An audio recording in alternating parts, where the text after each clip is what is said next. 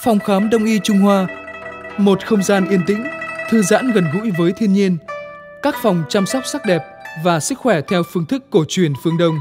Massage chân, ngâm mình trong những thảo dược, thư giãn massage toàn thân, giảm căng thẳng với sông hơi khô và ướt. Đặc biệt là chăm sóc làn da với massage tia nước.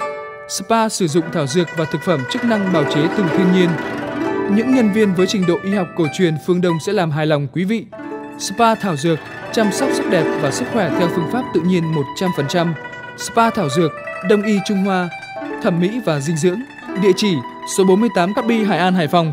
Điện thoại 0312 666 180 0316 587 303.